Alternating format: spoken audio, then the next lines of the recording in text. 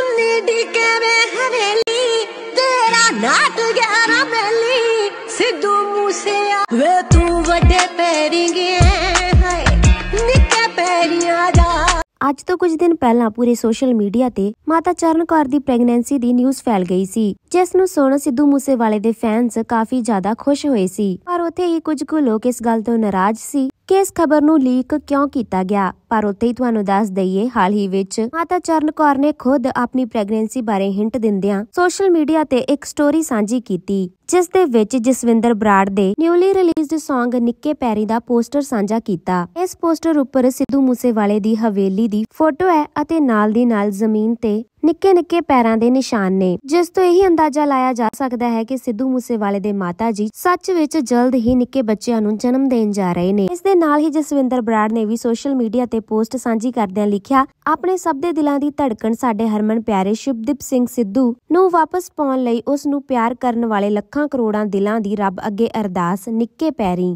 ਵਾਹਿਗੁਰੂ ਸੱਚੇ ਪਾਤਸ਼ਾਹ ਅਰਦਾਸਾਂ ਪੂਰੀਆਂ ਹੋਣ। ਇਸ ਦੇ ਨਾਲ ਹੀ ਜਸਵਿੰਦਰ ਬਰਾੜ ਦੀ ਇੱਕ ਪੁਰਾਣੀ ਵੀਡੀਓ ਕਲਿੱਪ ਵੀ ਵਾਇਰਲ ਹੋ ਰਹੀ ਹੈ, ਜਿਸ ਦੇ ਵਿੱਚ ਉਹ ਕਹਿੰਦੀ ਹੋਈ ਦਿਖਾਈ ਦੇ ਰਹੀ ਹੈ ਕਿ ਸਿੱਧੂ ਮੂਸੇਵਾਲਿਆ ਜੇਕਰ ਤੂੰ ਵੱਡੇ ਪੈਰੀ ਗਿਆ ਏ, ਤਾਂ ਨਿੱਕੇ ਪੈਰੀ ਵਾਪਸ ਆ ਜਾ। ਤੁਸੀਂ ਉਹ ਵੀਡੀਓ ਕਲਿੱਪ ਵੀ ਆਪਣੀ ਸਕਰੀਨ ਤੇ ਵੇਖ ਸਕਦੇ ਹੋ। ਵੇ ਤੂੰ ਵੱਡੇ ਪੈਰੀ ਗਿਆ ਛੋਟੇ ਪੈਰੀ ਆ ਜਾ। ਅੱਗ ਬਾਲਦੀ ਜਮਾ ਦੇ, ਕਲੇ ਜੇ ਠੰਡ ਪਾ